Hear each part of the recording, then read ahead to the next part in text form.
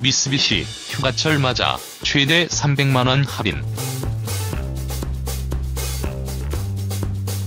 미쓰비시 자동차는 차량 구매 고객에게 최대 300만원까지 휴가비로 지원하는 미쓰비시 바캉스 financial 프로젝트 프로모션을 실시한다고 6일 밝혔다.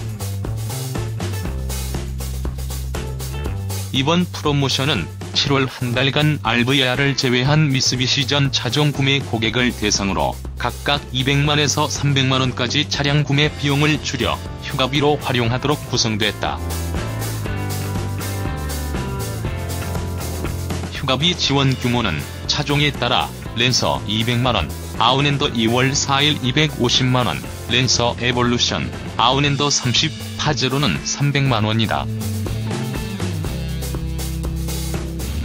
미쓰비시 수입사 CXC 관계자는 여름 휴가철에 차량을 새로 사려는 고객은 다른 시기보다 비용 부담이 클 것이라며 이번 프로모션으로 차량 구매와 휴가 비용 마련이라는 두 마리 토끼를 잡기를 바란다.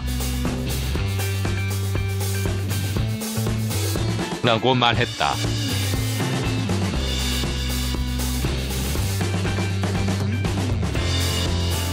자세한 내용은 대표 전화 또는 미쓰비시 홈페이지 www.